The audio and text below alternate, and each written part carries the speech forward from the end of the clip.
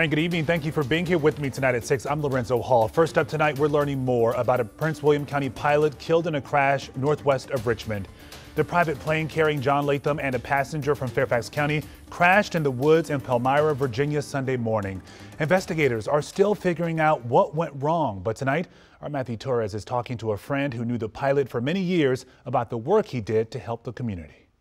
Tonight, this is how Cal Brown is remembering his longtime friend of 20 plus years, 63 year old John Latham, playing golf for charity events. Love, joy, peace, patience, gentleness, goodness, kindness, generosity, self control. He was salt of the earth. But Sunday morning, the private twin engine plane Latham was flying with his 73 year old passenger Niiben Ayivorh Burke crashed in a county west of Richmond. They were flying to South Carolina for the Manassas Regional Airport, where the passenger also had a plane, according to the airport's director. It was just a real shocker. Um, got me emotionally and I tried to calm down. The National Transportation Safety Board tells WUSA 9 two investigators arrived at the scene today to document the wreckage before moving it to a facility, while an early report will be released within a month. The NTSB won't announce the final cause for at least within the next two years. He was a strong believer in Jesus Christ and loved God and loved his family.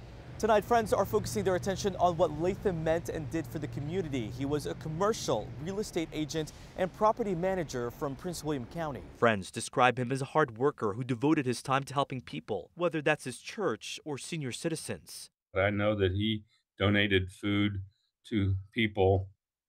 Um, I know that he flew senior citizens that needed help around. Just soft spoken, did a lot of good for a lot of people, but he didn't brag about it. He just he just did it. An avid pilot and golfer, leaving behind a grieving family. I will just miss that that relationship that was just always there. Matthew Torres, WUSA 9.